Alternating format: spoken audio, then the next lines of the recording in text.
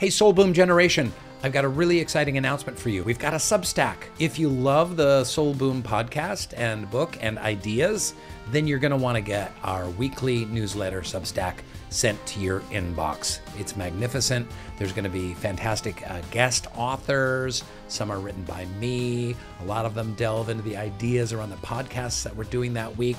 So sign up, please subscribe. Go to soulboom.substack.com. Thank you. After the demise of Chappelle Show, I used to carry around a list of good things I'd done, sort of a self-esteem booster. What was on that list? It was certain jokes, certain sketches, certain parts of movies, certain, you know what I mean? But Like, was it the day you handed out sandwiches to homeless people or anything like that, or hmm. just just comedy and sketches? grow up.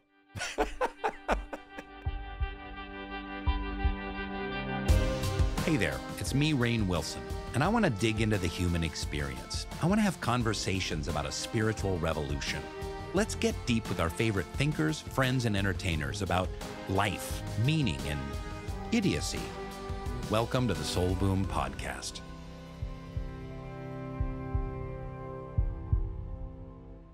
Well, the interesting thing that I don't really talk about much is, and I'm not going to today. I'm.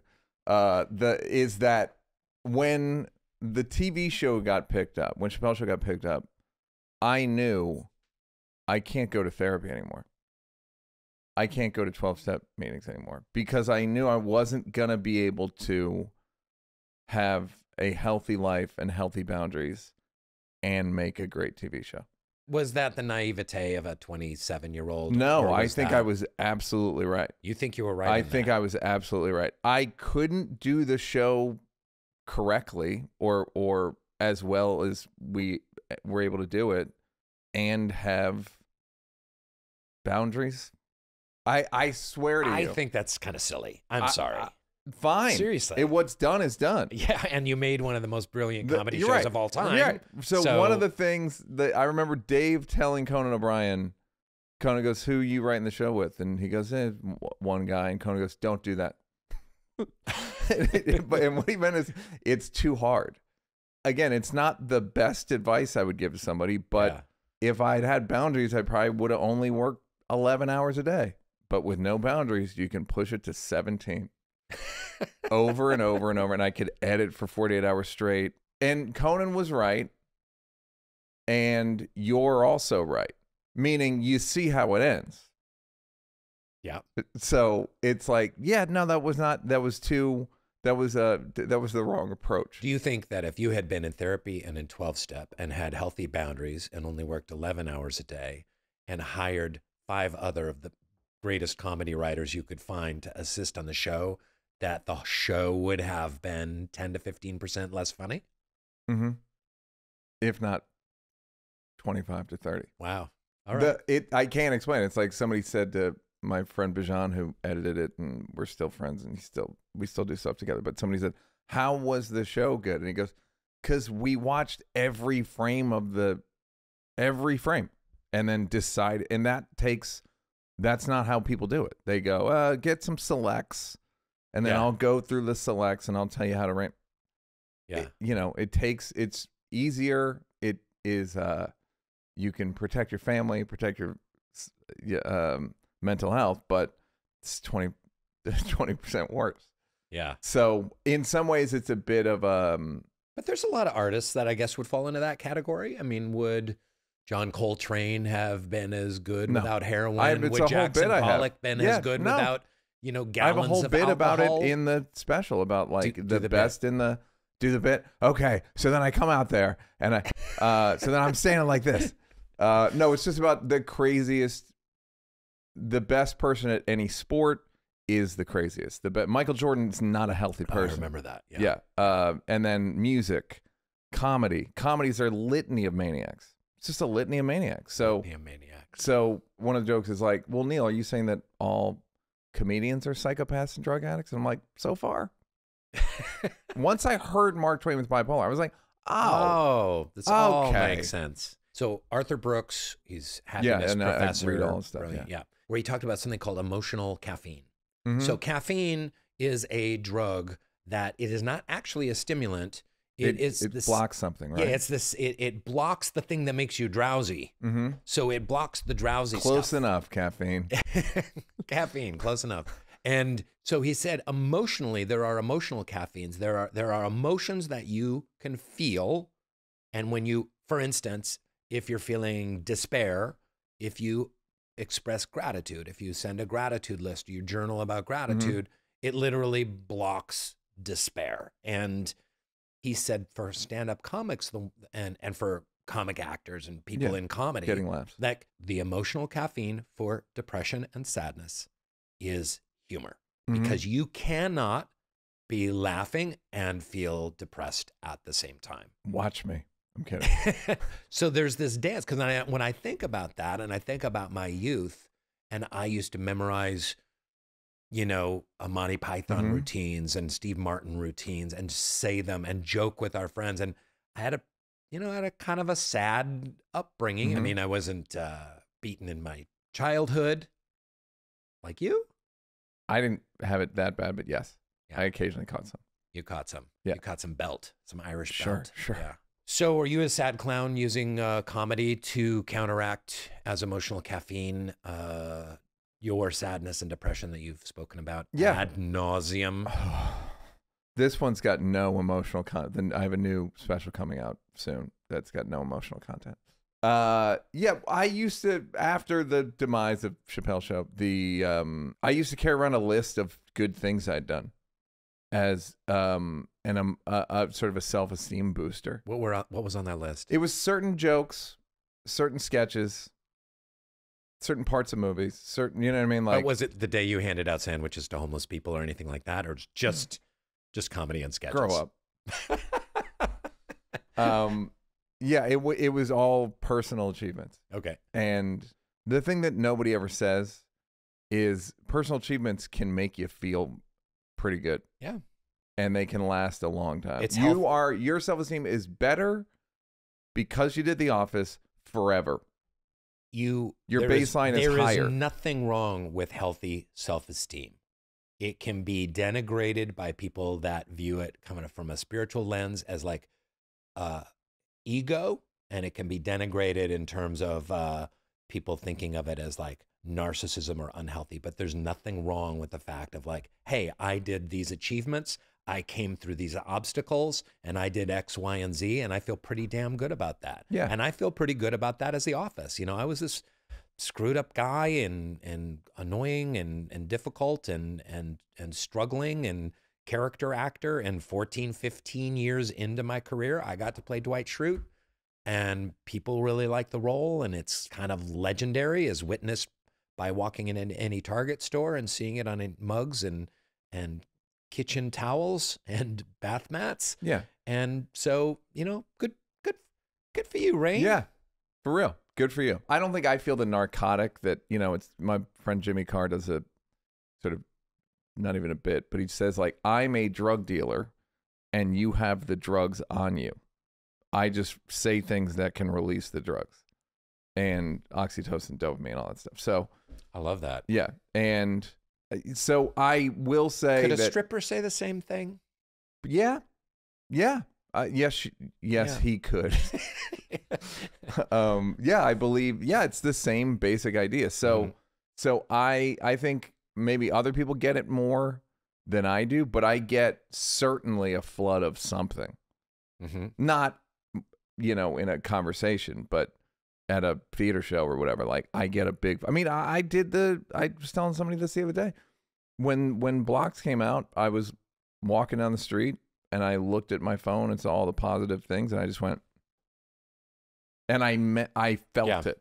Yeah. You know what I mean? So it was a feel good emotion. I don't know. I don't know which one of those sons of bitches it was, but it was it was one of them. So If you hadn't gone into comedy, would you be dead? no, I'd just be a very frustrated, angry uh, editor or something. A journalist? Yeah, maybe not journalist, but but just because it's too hard. But and no one believes you anymore.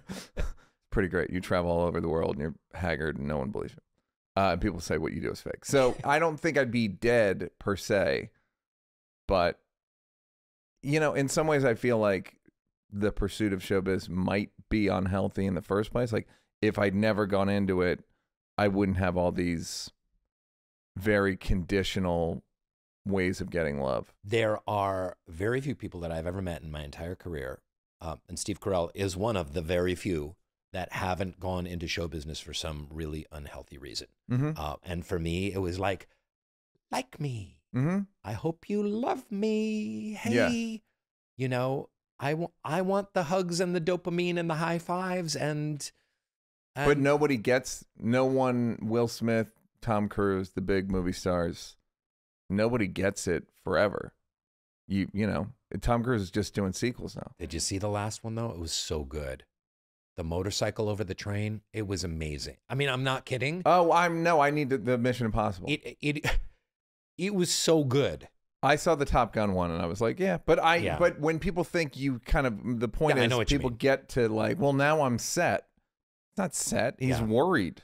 He's worried about keeping it up. Yeah. So it's all it's a it's fool's gold that some people manage to get a continuous supply of, but it's still kind of fool's gold. Yeah. And to the to my earlier point, doesn't it sort of prevents much of a personal life? Jim Carrey had a great joke about that when he was accepting a Golden Globe award and which is like, "Oh, now I'm happy. Oh, I've got this. Now everything is going to be great." And it was and I felt the same way when I was on The Office and I've talked about this in a bunch of podcasts. People loved it when you talked about it. And they they went ape shit. And I'll up. probably talk about it on your podcast, which is, you know, I'm on The Office. I'm shooting movies. I'm making millions of dollars. People adore me and the character. I'm hosting SNL, and I spent many years being like, why don't I have three movies Yeah. lined up? Why don't I have X million dollars? Why don't I have a development deal at Warner Brothers? Where are my Universal NBC offices? Where and so it's the never enoughness Yeah. That is to the Buddhist the the essence of what that suffering imbalance is that we're all on a journey to rectify. Yeah, uh, most of us are in too deep. You know, what do you? Wh- hey, Rainn, what are you gonna do? To are you are you are you putting the old the old uh, script down forever? Or are you I- putting the? I could do it right now. Could you? I could walk away. 100%. I got one last score. It's in my This is it. Is this podcast? no, I but I I, could do I could move to a farm on Montana right now and I could be happy. And you you and your days would be occupied, and you I could do beekeeping and pottery and I could be happy. My wife thinks that I'm nuts for saying so, but I really truly believe that. I we I have a joke with friends when they go, you know what? I'm gonna move to the country and open a juice bar, and it's like you're a fucking phony, and people in the country aren't gonna like you. So this idea of like the no, you're gonna be. They don't have uh, nail salon. There's so many things they don't have there that you're you've built your life around, and you're gonna be miserable, and no one's gonna like you. And you're gonna tell them about like, well, in L.A., that's all you're. It's gonna I, you're I start don't every know if that applies. I don't know. I you well, you live out in the sticks a little bit here, yeah, so I got pigs. Yeah. The only people that really kept touring were Joan Rivers, who ended up having 150 million dollars in the bank when she died. So she traveled. And she gave it all to poodles. Yeah, yeah, it's something. She gave it to her da- daughter, and Leno still does it. yeah, He does flies corporate private. and- yeah, but and- they again, it's easy at that tax bracket. Is my point. It's at a certain point you go. Uh, am I going to keep getting going to the airport and all that stuff? Yeah. I entertain that fantasy and I go, "Ah, I'm just gonna go read or any of those things. It's just like, dude, people, you you moved here for a reason. So my impetus for comedy, I think, is anger and a little like get back, meaning I consider my voice to be, uh, hey, may I say something?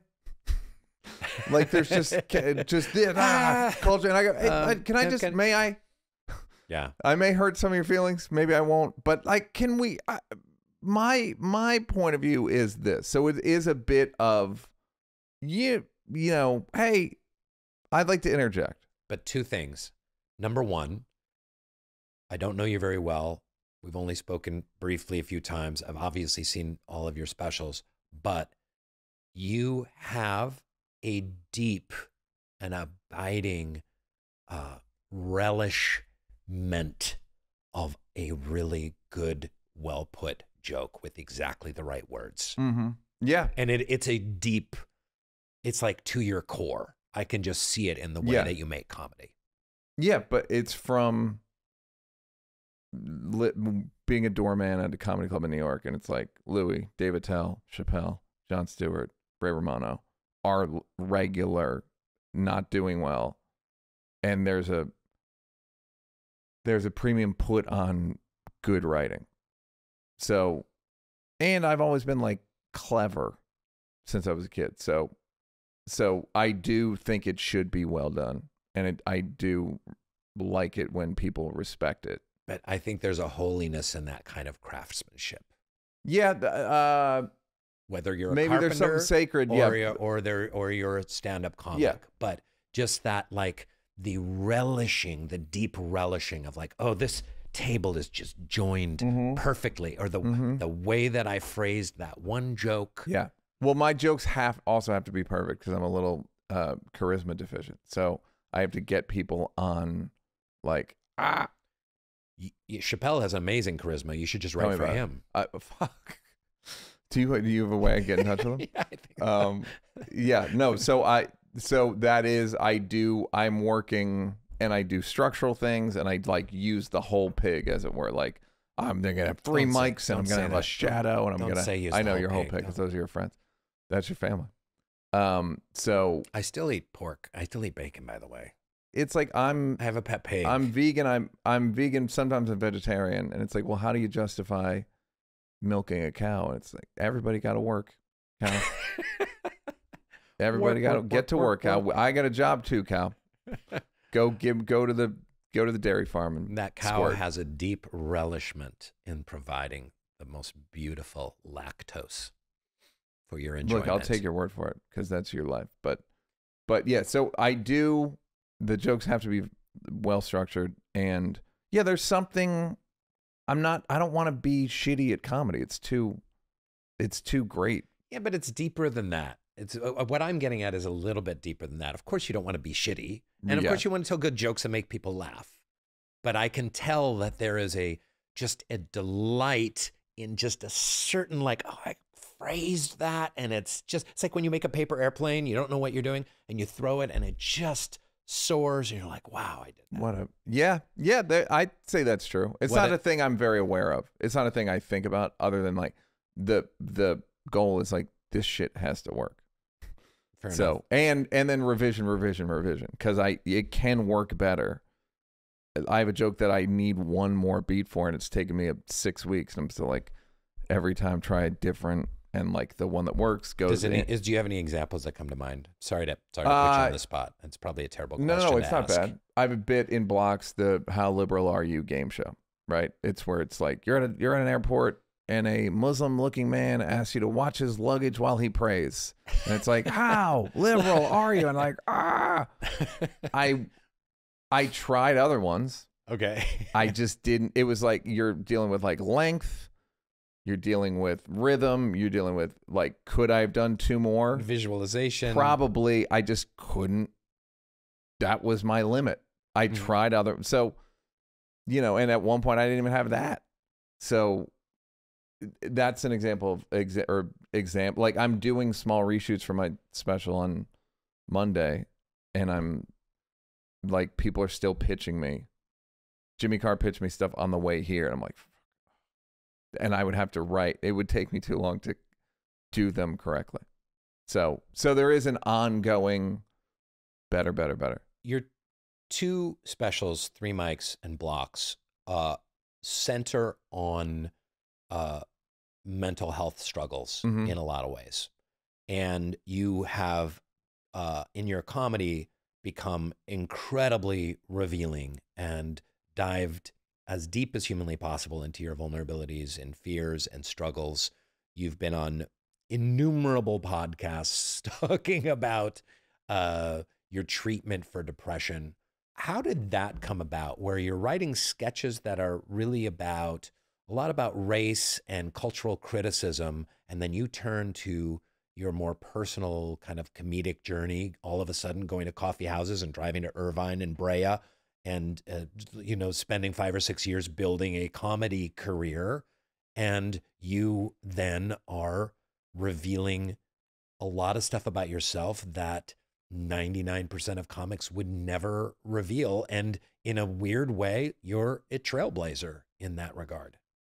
I'd always been concerned with mental health. I, me and Sh- Mike Sher wrote, sold a movie in 1998, and we were writing it at my house in New York, and we'd go to Central Park every day and walk around, and I just started taking Zoloft. And I remember talking to him about it, and I remember talking to Dave about it, Chappelle, and I was like, I Zoloft worked for me. And I remember saying to Dave, like, I don't want to dance, but I understand why people would.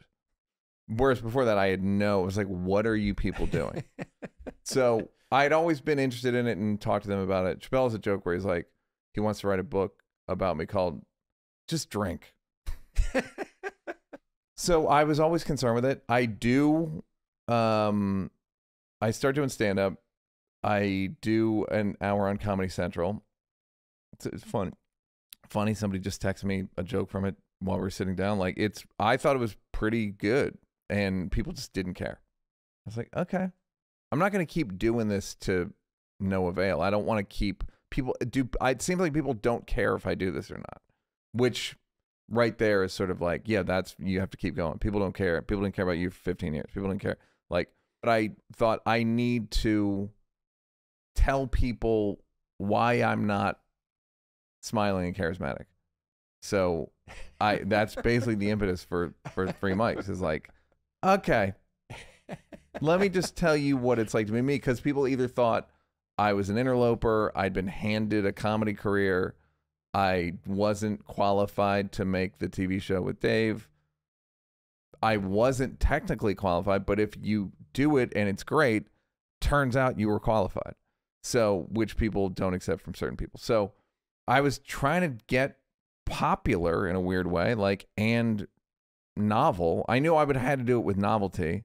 So the three mics thing was that. And I would listen to the moth and these podcasts and live shows and be like, oh, I wonder if I could what would I talk about?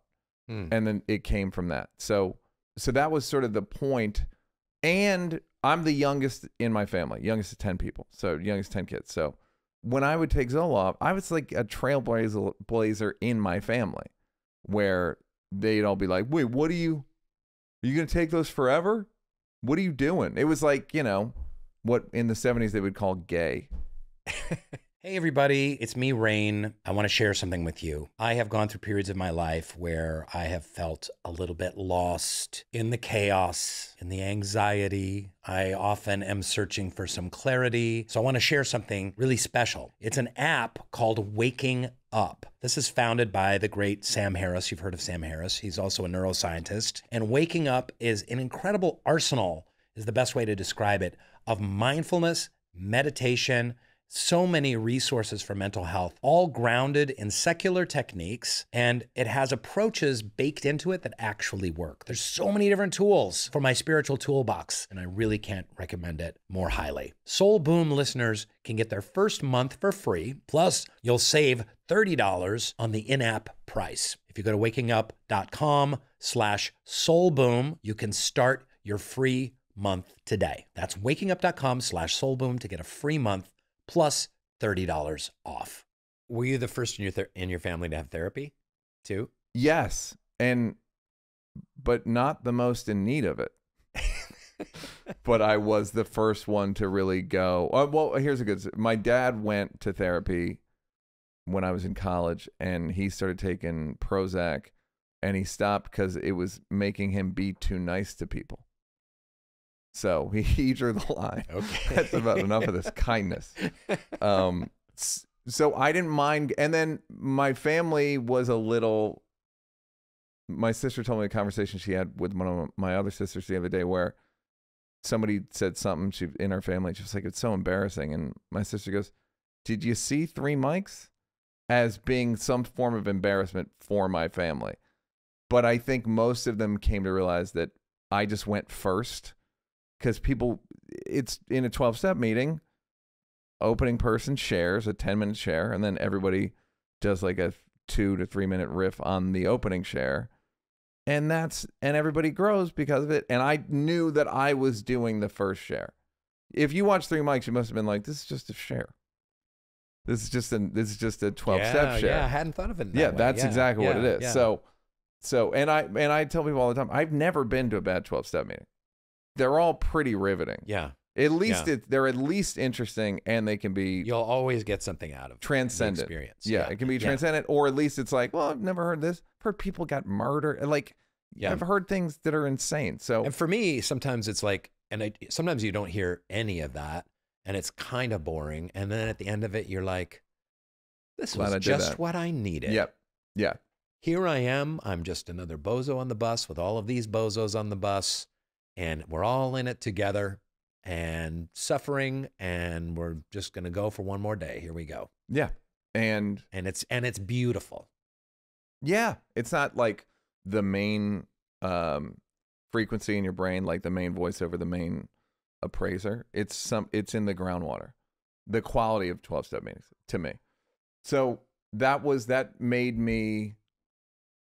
I was kind of doing it. It was just genre mixing, and and confession and stand up and so and it was cool and I it worked. Was there any element at all about this is important and this will make a necessary impact? Uh, look, reading Soul Boom, the the there thanks is for thanks for referencing. yeah, yeah, yeah. the there is an element to it that I read it and I'm like, look, man, I'm with you, but influencing people's hard.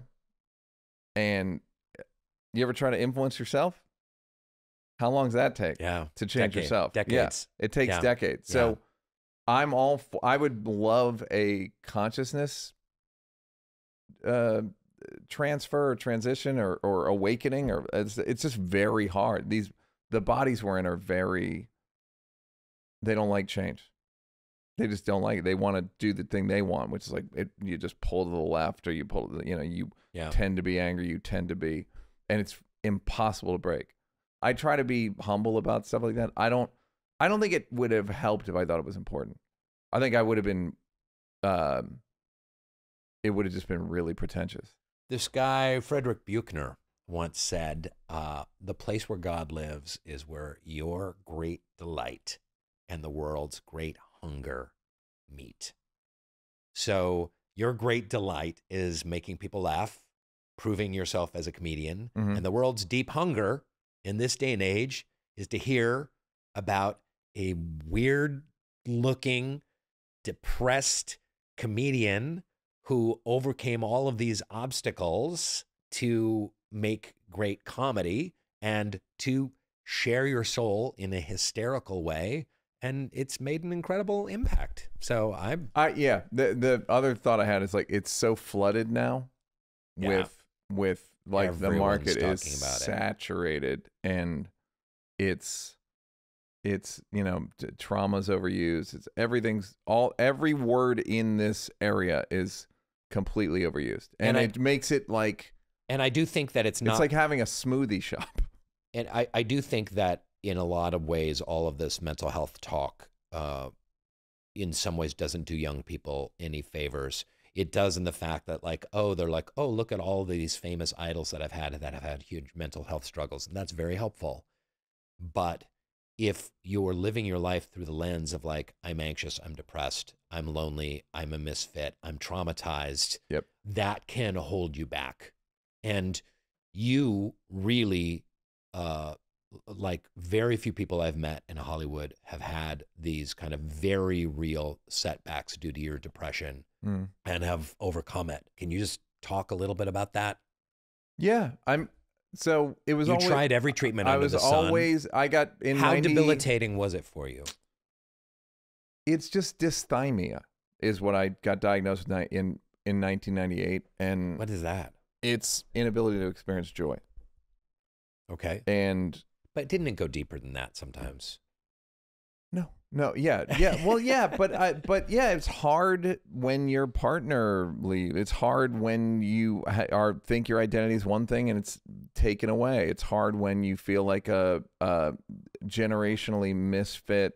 I have had things that are worthy of self pity or any kind of pity, but self is my favorite.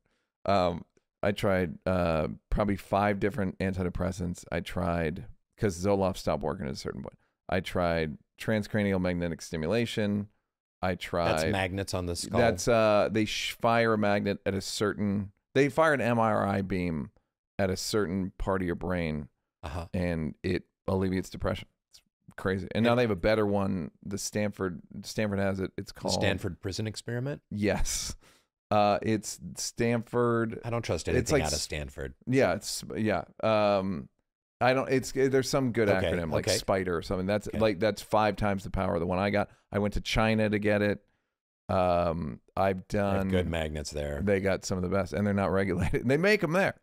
Uh, EMDR, Sure, I did that. helpful. hmm um, mildly for me. Just a bunch of stuff. Finally, I got to. Did you do electroconvulsive therapy? I didn't.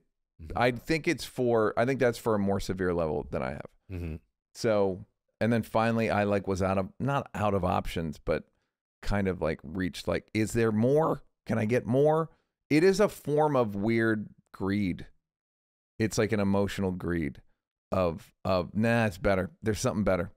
There's it's like sending Yeah, it back. Like no, this isn't if, quite I don't right. know if wanting to feel better in your skin is greed. Right, but I'm saying it. I don't say that with any judgment. I say it as I won't say it's not earnest, but there is a selfishness to it. Like I believe I deserve to experience more joy. Mm. I, that's a good. I let's say it's good selfishness, right? And and then finally, I after Would that every listener of this podcast would say, I deserve to experience more joy? yeah, why don't you? Yeah. Why don't you? Yeah. It's like fuck. If everyone else is experiencing it, Yeah. Why shouldn't and can you? you do three things in a week to help you experience more joy? Yeah.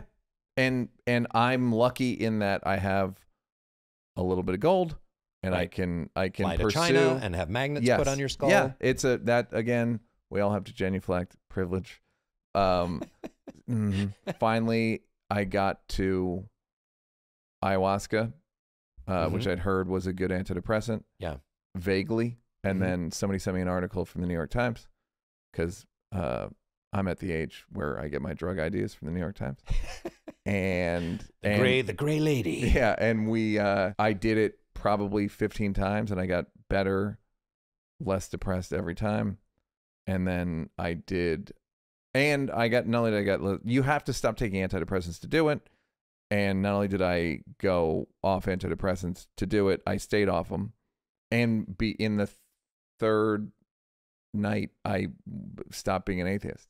And I want to get to that. Yeah. I love this story. I've heard little nibbles of it huh. uh, that you've told some other place, and I want to do a deep dive. I Mhm. want to do the deepest possible Mhm. dive on the God that you found through ayahuasca. But first, Similar to the God you found in your book, or that you it, whatever. yeah, yeah, I want to push on this a little bit. Um, I want to say that anyone that's doing hallucinogens because they're clinically depressed, they've tried everything else, and they need a way out, or they're clinically addicted, they've tried everything else, and they want a way out. I'm amen for that. So I'm all. I like. all Can I do my own I'm all in. My uh, I have so much more to say. Are you sure you want to say this right now? well, I just want to say, as someone who's done almost twenty times ayahuasca, I uh, went from be 15 to careful. 20 now. Be careful. let me get to part two of my dialogue, my diatribe here. First of all, I hate the words plant medicine Mm-hmm. because you know what else is a plant? Heroin. Mhm. You know what else is a plant? Cocaine. Mm-hmm. Don't give me your plant medicine bullshit. I, It's, I'll it feels do my best. it feels it feels like a justification. I also get a little bit tired of the um, the contemporary idea of uh, instant uh, spiritual enlightenment due to a drug. Because I am old enough to remember people talking about LSD in the same way in the early 70s. and they're going to start talking about it again soon, and they are now. I uh, remember people talking about mushrooms and peyote that way in the 80s. Mhm. And there's always been a component of society that has said, well, you can find God, you can find divinity, you can find meaning and purpose and illumination through drugs. And I get a little scared because you have all of these very powerful influencers talking about, you know, doing ayahuasca or or, or acid or or and hallucinogens and it's a it can be dangerous. I've also met a guy. I've met several people, including an uncle of mine, who've completely fried their mm-hmm. brains from microdosing and overusing. And I do think that one can find um, the divine inspiration, transcendence, connection, eh, incredible beauty in ways that don't involve drugs. Now, again, this is not a judgment on you at all. I respect your journey so much. Like when I hear about your life story, what you went through and what you've accomplished, and, and I truly mean this, Neal, like it's jaw dropping to me. And I've heard some of your ayahuasca stories and like, I want to get deeper, but I get a little scared about this. Um, uh, hey, everyone, jump on into the hallucinogen uh, bandwagon. Totally agree. Yeah. Um, because the truth of it is, I've had two experiences that were. I did after the ayahuasca. I did DMT, Bufo, Alvarius. It's got three different names, but I don't know what that is. it's a toad venom. you did it to Let me finish. so, but it's one of the good ones. No, it's a it's a toad secretion, not a venom. It's like a you know, it's like a Oh, okay, toad. okay. Let's say it's a toad Toad jism. pimple. Yeah, I mean, uh, like a pimp. They literally scrape the white and then they dry it and then you smoke it. It's basically pure DMT, Okay. and you freebase it. okay. DMT is an, an ingredient So in ayahuasca, but you drink it so your body breaks it down and then it enters your bloodstream. so it's reptile medicine. basically, yeah. And I did it, and it was more severe than that. It was so far past. I do a thing in blocks where I I do like a montage of what it was kind of like.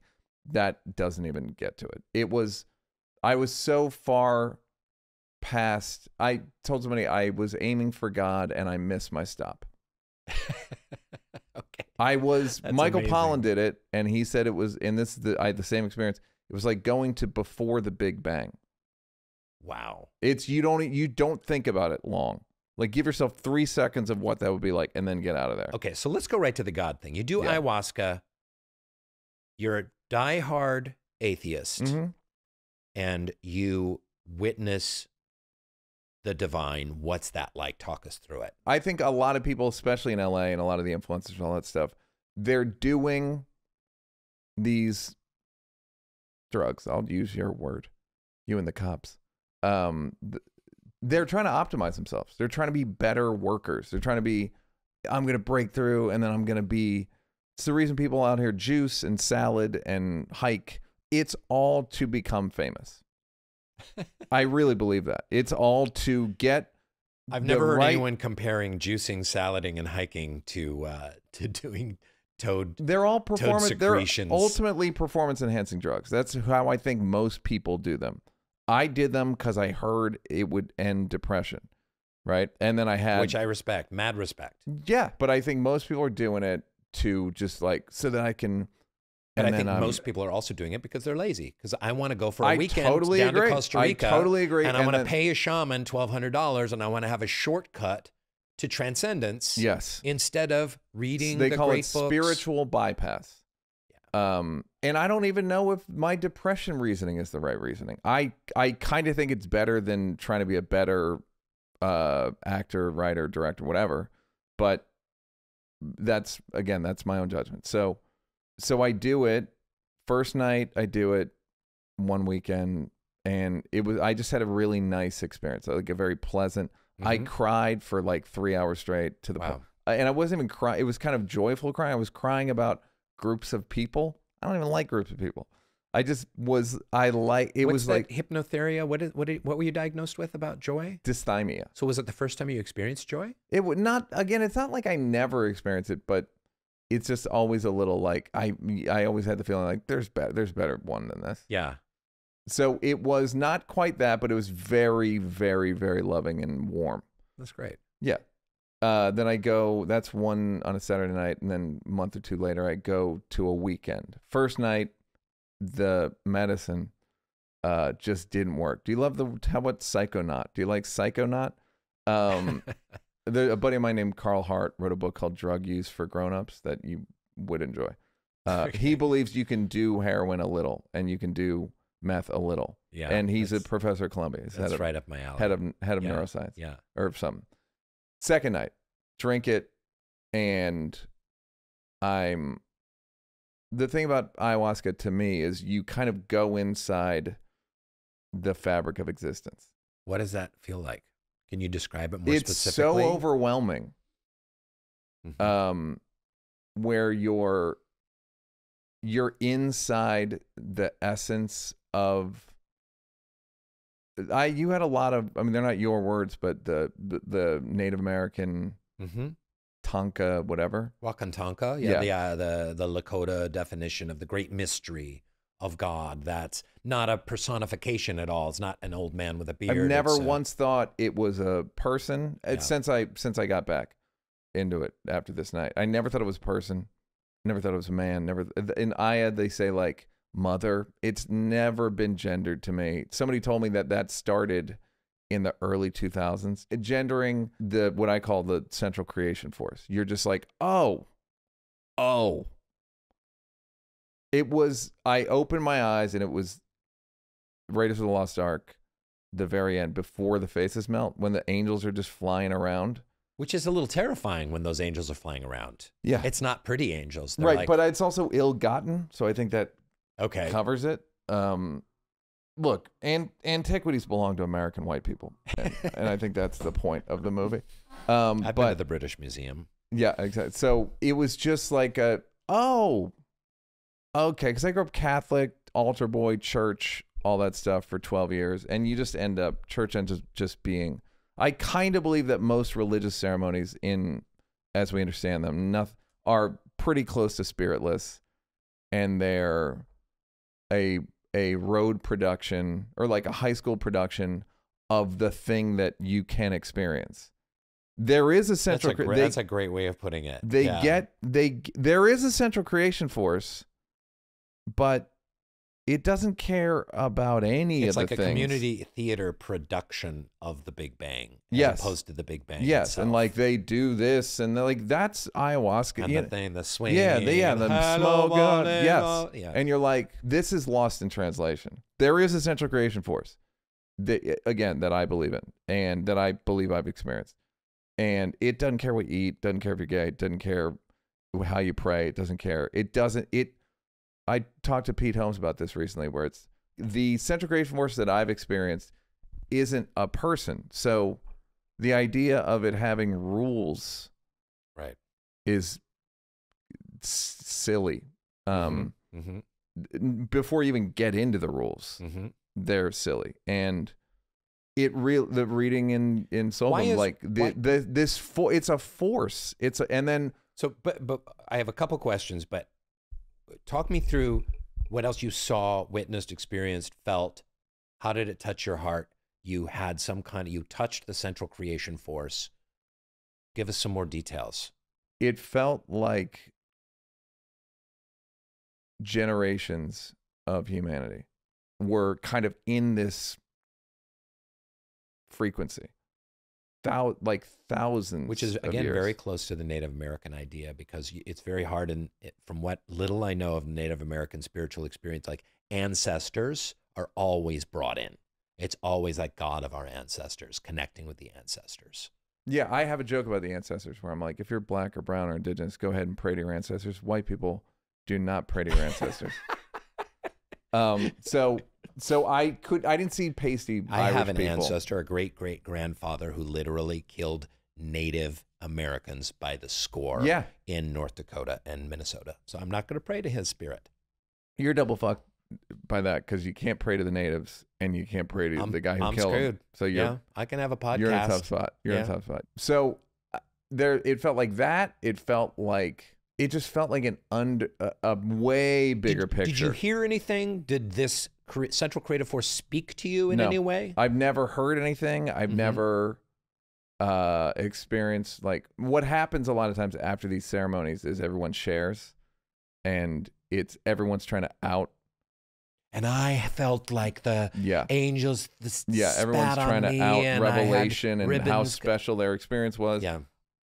i don't have anything i can point to as especially not on ayahuasca a couple times ago But how do you know that there's a central creation force from doing a drug? Couldn't you have someone who's an atheist said, like, well, you took a drug. and it lit up this one part of your brain that made you believe that there was some force I'm outside totally of yourself. willing to accept that that could also be true. yeah.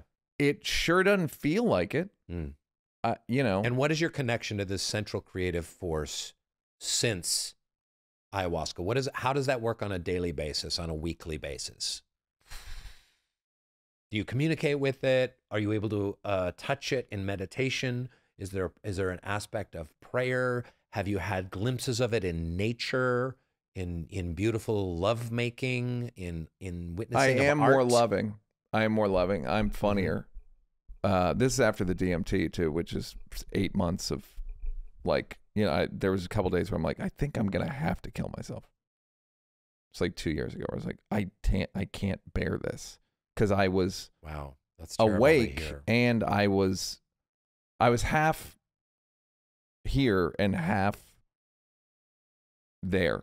Yeah. So you meant you had to kill yourself during that I process because it was so it was so unbearable. It was so. It was I wouldn't have wished it on Hitler. I remember thinking that. Like I wouldn't wish this on Adolf Hitler. I've heard that about ketamine and uh, and K holes. I've heard about that. People feeling that exact. I've done thing. ketamine. I did ketamine treatment also. Um, I didn't didn't work for me, but it was it was just on. I had the thought, am I in God's imagination? Shit, that's just way past where you're supposed to be. You are in God's imagination. We all are. That's a beautiful way of putting it. I don't right, but I think I, it's real. So, and I think it is physically here. It is a physical thing. So, I don't think I think it's like your you guys weren't in Ricky's imagination.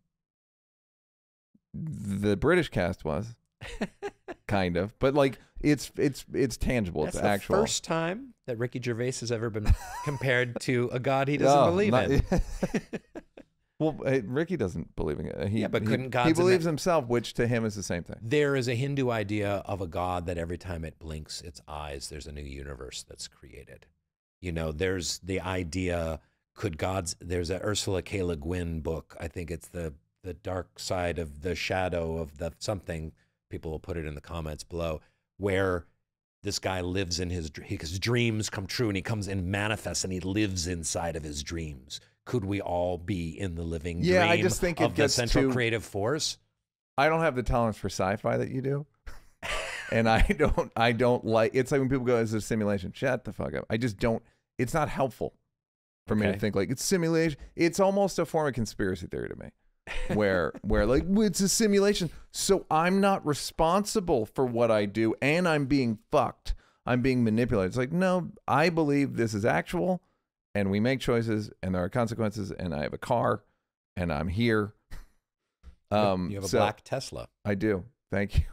Day to day, a lot of it is in my nervous system.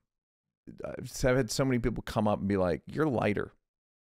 I got better on stage because I'm 10% lighter. I get bigger laughs than I've ever gotten because I'm 10% lighter from ayahuasca and DMT. I believe it's made me fall in love easier. Uh, it m- gives me a little distance from my nervous system, from my reactive nervous system, a little bit. I yell less. I'm less like generally angry. I can watch myself more and like kind of what are you doing? What would you have been like on this podcast Angrier, for three or four years ago? angrier. And would you have been a more judgy, like who's this guy? Like, oh, this guy wants to talk about spirituality. No, I just this would have no. Sitcom I mean, actor. Like, would you Uh, have been kind of like? I would have been just generally angrier. Do you connect with this power at all, even in nature and something? I I, I bring that up because like, I do meditation pretty much daily, and I have this little bench out in my backyard, and I live in a really privileged place. I live in a really nice house with beautiful trees. Thank you.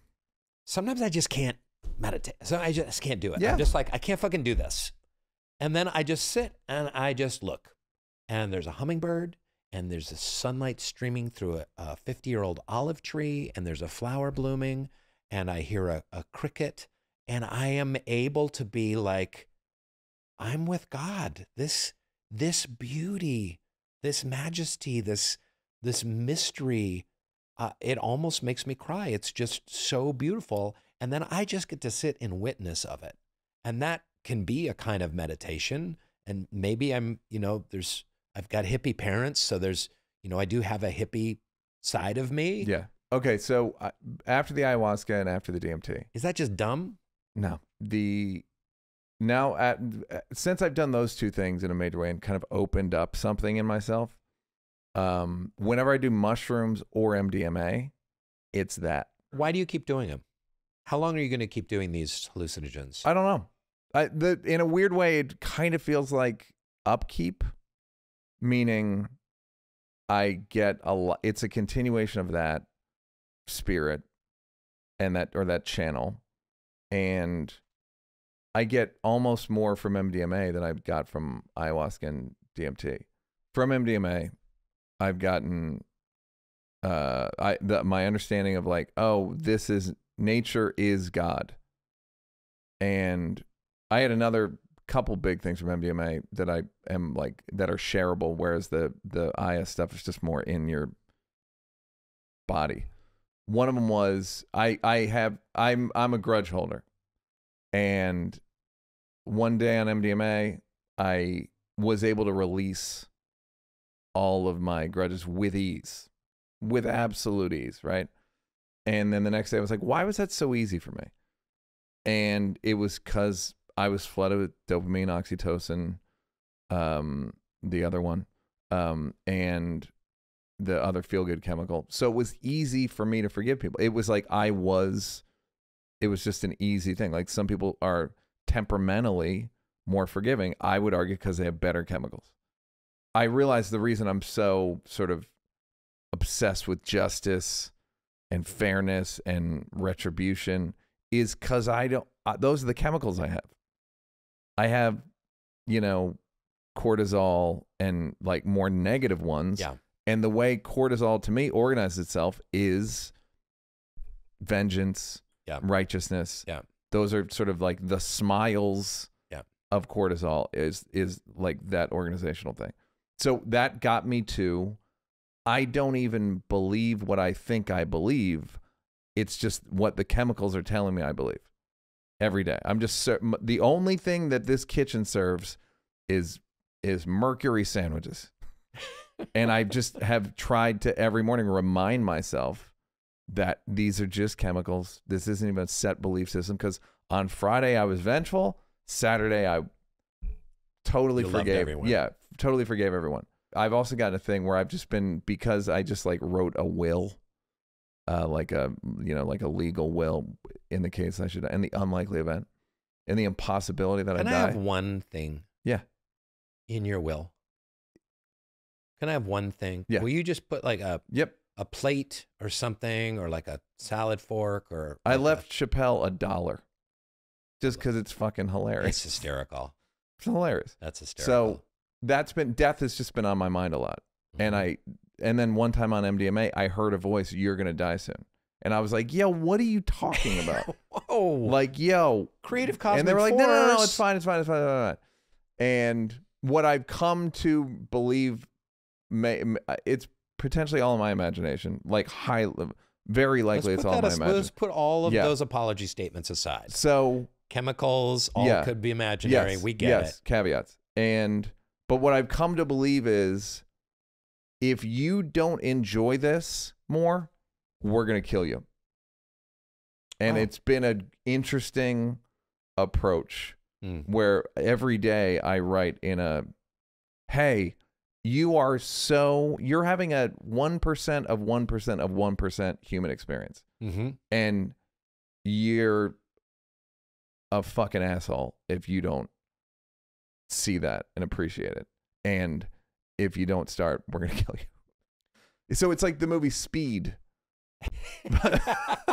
but I have to enjoy myself. You have to. It's like a setup for a movie. It's Yeah. like a Jim Carrey movie from, Yes, the, from from, the 90s. yeah. Like, Yes. if you don't enjoy yourself every day, you're going to Yes. explode. yes, yeah, that's And basically. so he's like, every day, Jim Yeah. Carrey's like, yeah, Yeah. juggling, fire eating, and going on a roller coaster. yeah, But can't you pray to this? What What is stopping you from praying to this cosmic, beautiful, creative force? I don't because uh, I don't because I have everything. commune, commune. I have everything. That's. But I'm not saying that praying doesn't mean give me more.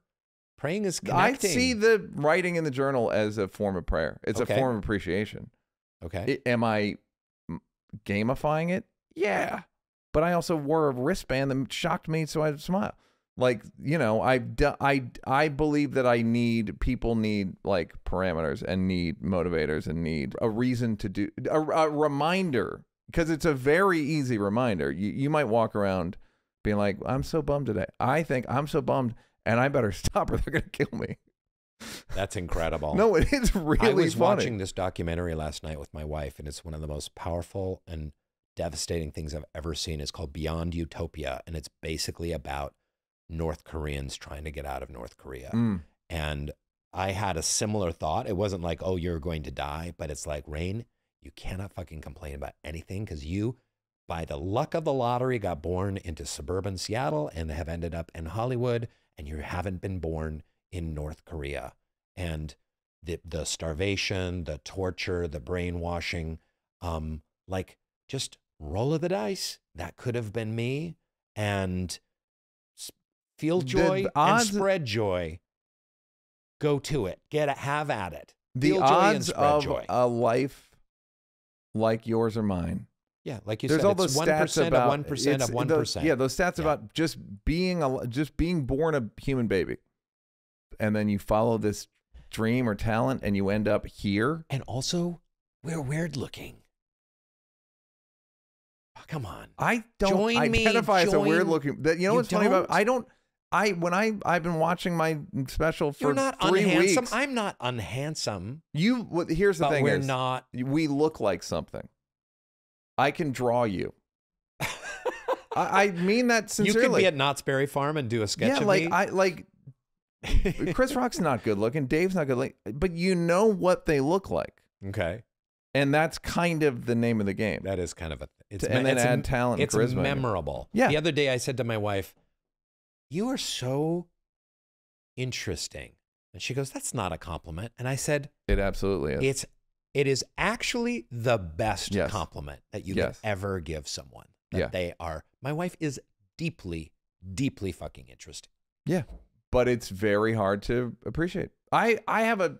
It's kind of a joke that's not ever going to be good enough, but but church is every week because we need it every week, and there's churches every every other block because that's about how long church lasts.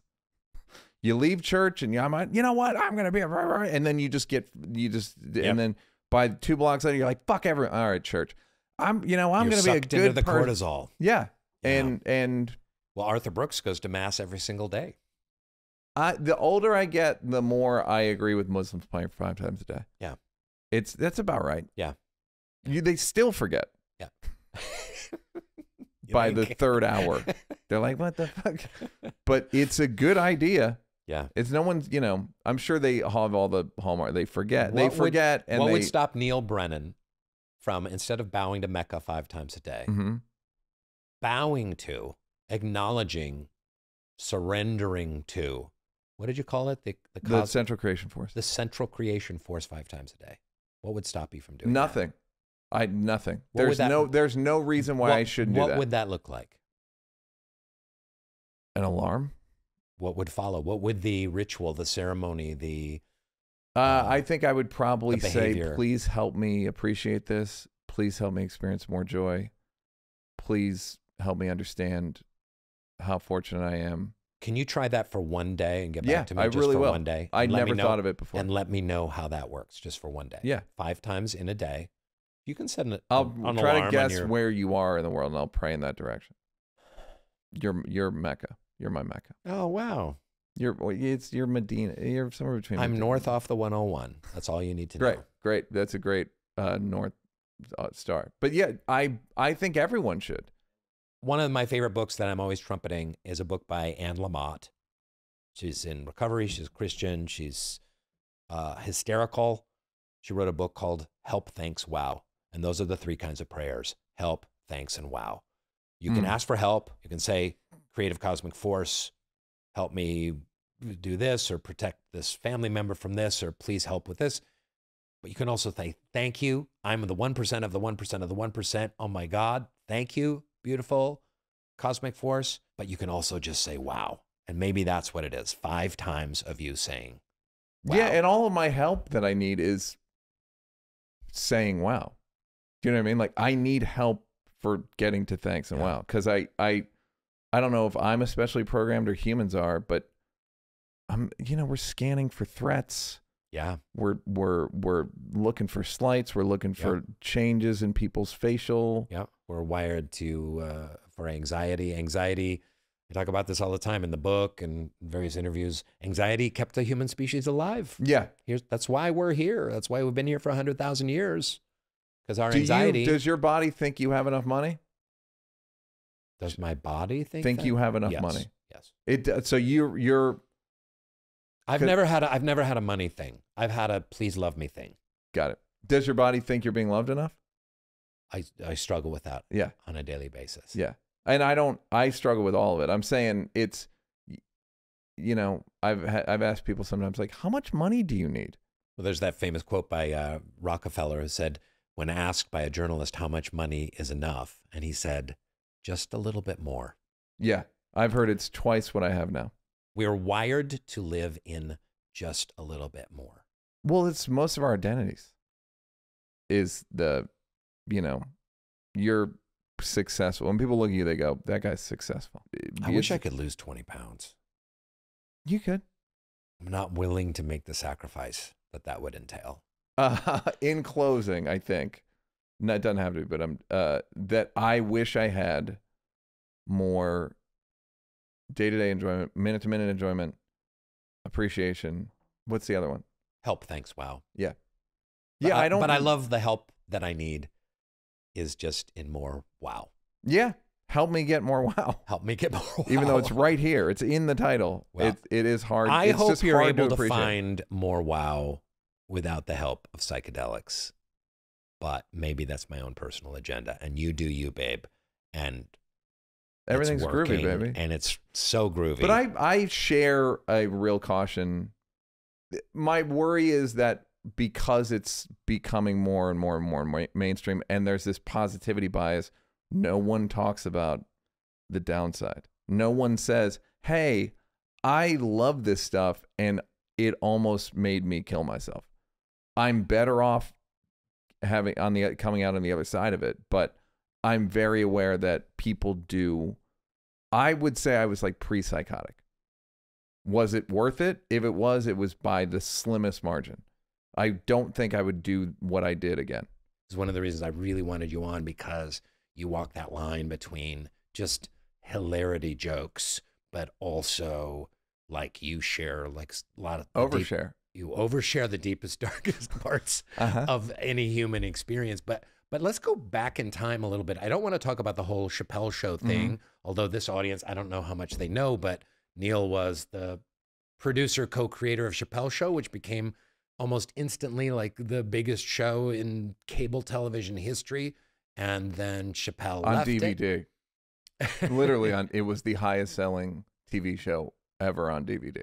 But I I would watch it on the No, actual of course, it was on- MTV. yeah, it was- yeah. We would wait and oh my god, yeah, new one. There's comedy, new it was Comedy Central. Yeah, yeah, yeah. Uh, well, what's funny is I we're not directly linked, but but my buddy Mike Schur was writing for SNL, and then I think after the first season of Chappelle Show, he moved to uh, L.A. to work on the American remake of The Office, and it was like, all right, but, and it was kind of like good luck. It- Okay, yeah, yeah, it was like okay, it seems like you're not gonna yeah, be able to do that, but yeah. turns out they did.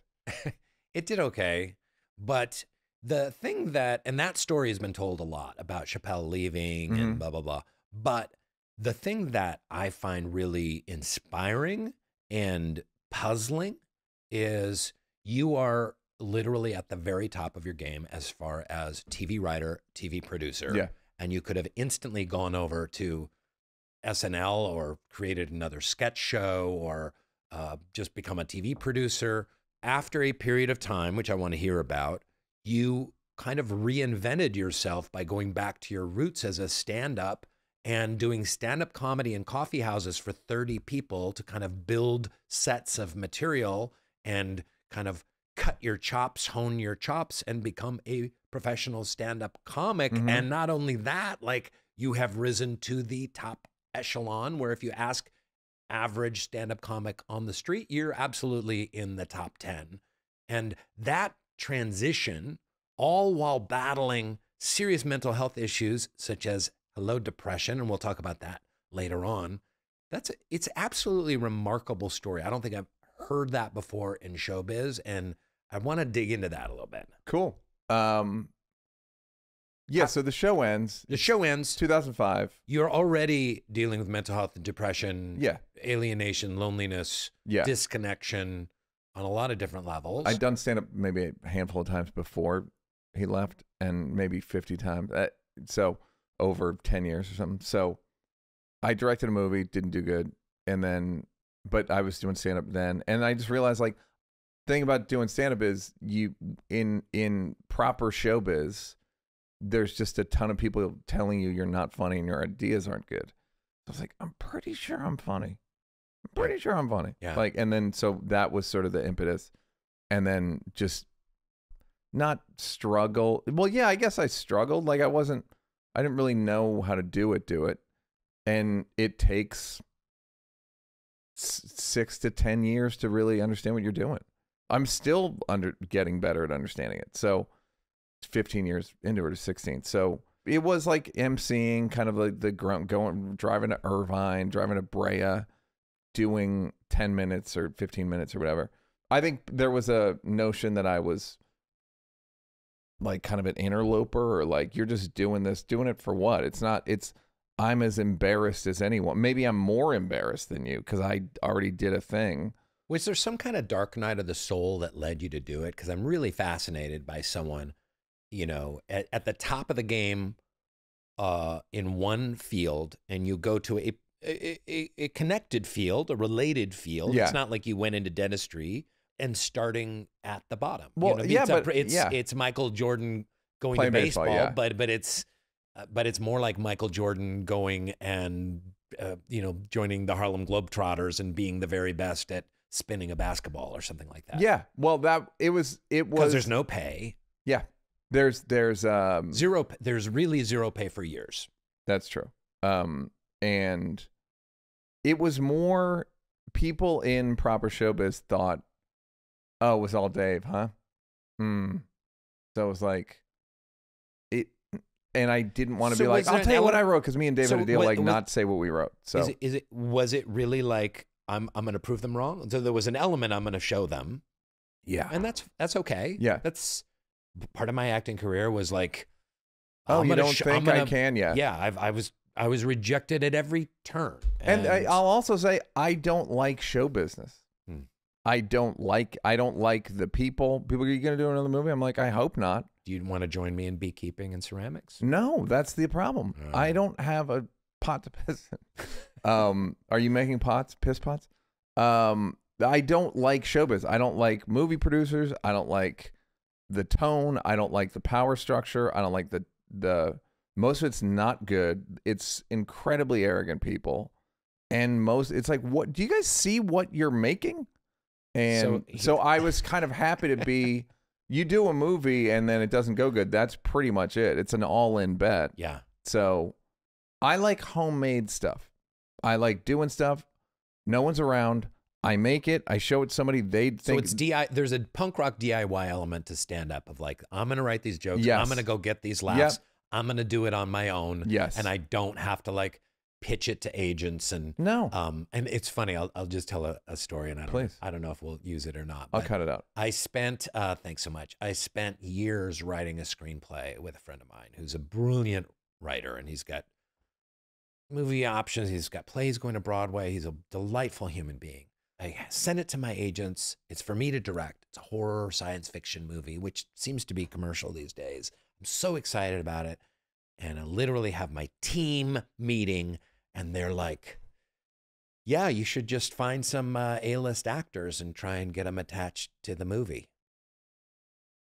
I Mhm. was like, uh, "Is that is that it? Is that your your advice?" Well, yeah, no, exactly. So that's that that's it. You want you want me to just do it myself? I'm just gonna package and put together this movie by myself. Okay, thanks so much. Thanks for your time. Thanks for reading the script. Right, but it's similar to when you book a job or whatever, and they go, "Well, it's here's the offer," and you go, "All right, what's the counter?" And they're like, "Ah, there's no counter." You, if you have a quote, which is generally what your final salary on the office was, that'll be around what you expect to make on other things that you're the lead on or one of the leads. And then they go, ah, they can't meet it. And you go, so what are we? Are you going to get them to meet it? Ah. And you go, so what are you doing? This is what they have budgeted. yeah. What are you doing? Yeah. And it's They're- full they're- of people like that. taking phone calls. And I would argue most good stuff is just a person, two people, and maybe they don't have good boundaries. Maybe they're working too hard. But you know, so I, South Park comes to mind. Like just, just they just do their thing in the warehouse, Yeah. and they don't. Everything's all set, and they then they go home or whatever they do. So, so I don't really like it. I didn't want to write. I didn't want to just be stuck in a room. That's uh, the other part of why I did stand up Right. is because I didn't like. You'd want to join another writer's I room yeah, and like, spend I- 14 hours a day with some Yeah, stinky comedy writers. and- yeah, or yeah, which I I like comedy writers, but I mean I am a comedy writer, but I didn't want to just sit there in the flannel and the and just like eating snacks and sort of the way me and Dave did it was I would I we I would have an index index card. It's it's my whole life uh, of just like ideas. I'd write ideas and then he go, hey, uh, put on the card something something. something. I go, okay, and then we we write for a couple days every few weeks, but it wasn't organized in any way. Wow. It was just very disorganized. Wow. And so that's kind of what I'm used to. And anything good I've done has been do it here, meh, improve it, improve it, improve it, improve it, improve it. And then Well, you didn't Louis. C.K. do that very effectively when he was doing his TV show? He said, The like, solo? I'm gonna the Yeah. I'm gonna just do my TV show. I'm gonna write it.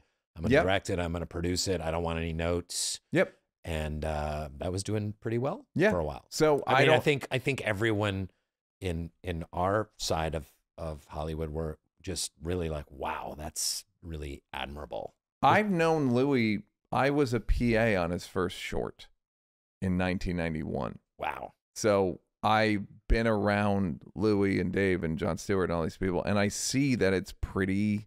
You just do it yourself. It's just the best way to do it. Anything Mhm. else is a is a factory, Yeah. and it it gets watered down, and it gets even. Chappelle one time was like, even if it's bad, it's our bad. Yeah. which is which Yeah. I agree Which with. you can live with. yeah, I had a real breakthrough about show business a few years back. And and it was very very simple and I wonder if there's a spiritual truth that underlies it, which is constant rejection, minimalization, being shot down, disappointment nonstop and it was just very a very very clear still voice inside of me said, "Rainn, you signed up for this." mm-hmm. and it immediately just lifted so much it's like and that and that is one of my very favorite jokes is like how do you make an actor unhappy give him a job Mm-hmm. but show business is filled with people like venting about their disappointment and and and flagellating about you know uh, rejection and uh you know being shot down and it's like well then don't be in show business because there's a lot if you're a cpa you're not going to experience rejection you know Right. And you're not going to experience huge payouts. You're not going to experience residuals. You're not going to, you're not going to experience a lot of upside. I always say that and adoration and and whatnot yes. it's kind of like being at Vegas, and it's like, well, then don't be in Vegas if you don't want to. It's a more, I think, uh, spiritually mature way of looking at like, well, um, suck it up, but you chose to be in this in this milieu, Yeah. and so that just that helped me a great deal. It's like, oh yeah, rejection, Well, disappointment. the, it's again, the rejection's coming. It's like my showbiz record is like three and nine. You know, it's like, it's not, but the three are get you through the nine. Yeah, But it's what, even, or two or one or I, whatever it is, that's great. it's a losing record. And you're still one of the most successful people doing it. Mine is literally like two and twenty. Yeah. And you, I because don't know basically what, every movie I've done, no one has ever watched or cared Yep. about. Yeah. I, I yeah, And, like I'm in the uh, same boat. I got a couple of TV shows that did pretty well. Yeah. There we go. Yep. And yep. Yeah, and that's and you're a real winner. Yep. I'm doing 20 and I'm a real yeah, winner. yeah. You're and Came out you're on like top. yeah. and you get recognized everywhere you go a Look, lot. I got, a, I got a nice podcast studio. like yeah, like a little country uh, shabby chic. we have talked about a number of different things uh, and we've talked a lot about depression anxiety even suicide um, panic attacks uh, low self-esteem cortisol struggle Mhm. et cetera et cetera What a podcast. we've also talked about joy and your seeking of joy. So let's let's leave it on an up note. How do we find increased pleasure that we can share that connects us to that great creative force? Uh, it's obvious, but you kind of have to believe it in the first place. There's things that in my life, ha- Hasan Minhaj said one time, he was like, you know, because when I was an atheist, he'd be like, look at your life. How can you be an atheist? And I agree with him. He's like, it, this is not normal. And even being an atheist and doing Chappelle show and a bunch of stuff and and there is it always was there always was a spirit in it or that it drove it in a kind of way but like the unknowable the the native thing um the unknowable unspeakable ineffable force. They're all i always had it. Mm. so i think connecting to it i'm not a person that gets runner's highs or or um or like you know endure like i just from doing that i got but if there are things in your life that you do that feel i didn't manifest anything but something some things are kind of in you that you have to birth. There's a there's a quote i read a long time ago uh at like at, under a painting and it said the purpose of one's life is to give birth to themselves. Mm. and a lot of our lives and maybe it's egotistical or something but it is uh, tuning into what you the suspicion you have about yourself and trying to make it actual. That to me is a is very god connected it's achievement based but it's also god connected and one of my things is like i would like to be uh more joyful because i think it'll it's good for the earth joy is a service. You're you're giving joy to others by making them laugh with your yeah specials. and i can make them more laugh more if i were more joyful i believe so Mm. it's not again it's a little self-serving but i think connecting to a quiet part of yourself and trying to honor that I love what you said about that deep suspicion you have about yourself. Yeah. honoring that and letting that give birth to your full potential. yeah that's a that's kind of a core belief even when i didn't believe in god i i i was believing in god even though i wasn't uh, you know doing anything or i didn't think i did but i was maybe behaving in god How many miracles brought us to this situation where we're having this conversation behind these two mics in this beautiful little shabby chic kitchen set, uh, having gone through what we've been through? It's infinite miracles, Mhm. infinite miracles. Yeah, you can't. It's incalculable. It's almost. It's one of those things where it's almost not possible to even appreciate it. it I'm. I'm trying, but some of it's so insane. It's how how. Thanks, Neal. Thanks for coming on the old soul boom. Of course, of course. God, goodbye, everybody. Good night, everybody. Good night, everybody.